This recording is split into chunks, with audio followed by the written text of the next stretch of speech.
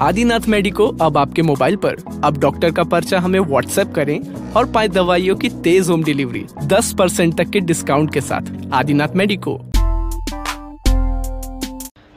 वो लोग होंगे जो कहते हैं कि शराब खराब है। शराब का नशा हानिकारक है। लेकिन क्या इन लंबी लंबी लाइनों को देखकर भी आप यही कहेंगे कि शराब हानिकारक है? अरे भाई, होती तो फिर सैकड़ों लोग इस तरह लाइनों में क्यों लगे होते?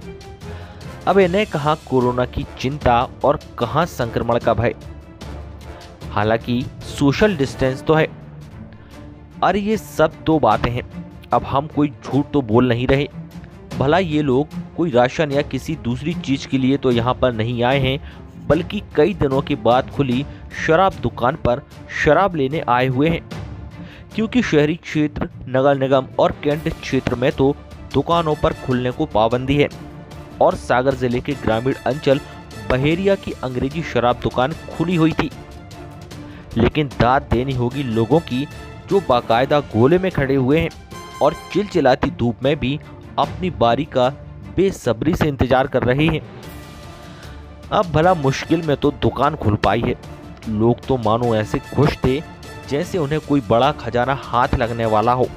और बेसब्र तो थे ही, जब लाइन में लगे, एक ग्राहक से पूछा गया तो उसने बताया कि वो बहुत खुश है।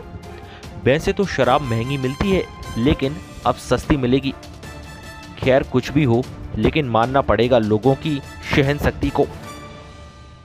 आप आज कैसा लग रहा है आपके लिए दारू की भीड़ में लगे बहुत अच्छा लग रहा है। कम से कम दारू भैंस में चार सौ की मिल रही थी ऐसे सस्ती मिल रही है मगर वो, वो बहुत ज़्यादा दिक्कत हो रही है। वैसे मिल जाती थी कल्टी में ऐसे में बहुत दिक्कत कल्टी में कितने की मिलती थी आप? साढ़े चार सौ का आई तो ये अभी कितने की मिल रही है मालूम नहीं अब जाएँगे मालूम चलेगा। तो अच्छा लग रहा है आपको बहुत अच्छा लग रहा है कितने दिनों बाद कितने दिनों बाद खुली है जी कम से कम महीने बाद।